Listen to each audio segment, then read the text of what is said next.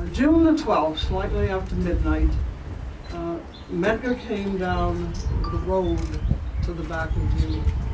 The children knew the sound of the motor of the car. And they said, there's daddy, there's daddy.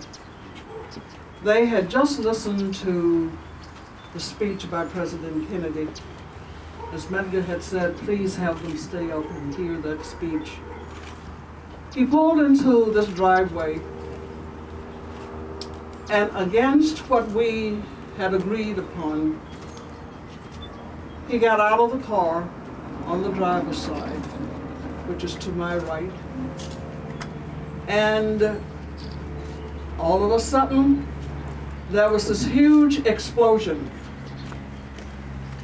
The children fell to the floor. They were sitting on the floor, but they fell to the floor and began to crawl to the bathroom. And you could tell, those of you who have been in, how small that was, or it is.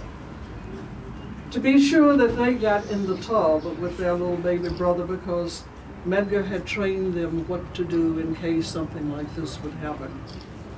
I made a dash for the door, turned on the porch light. The force of that bullet from the rifle had forced Medgar past his car, past my car, and he had fallen just about where you are there. Hmm. With the keys in his hand, trying desperately to get into the house. He had in his arms t-shirts that said, Jim Crow must go.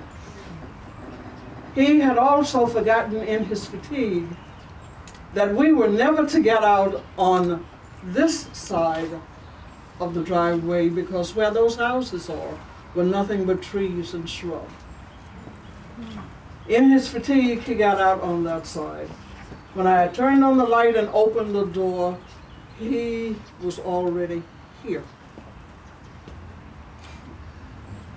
My God, after 50 years, I still get emotional talking about it. I screamed. The neighbor next door did what they had practiced or said they were going to do.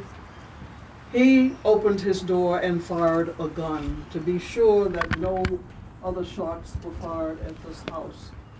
My children and I deeded this home to Tougaloo College mm. so it could be what it is today. And people who are interested in what I might call the beginnings of the movement, right, can come and see, can touch and feel. Um, I get a little weak need every time uh, I come back, but it's still home, and I welcome you to our home. Keep your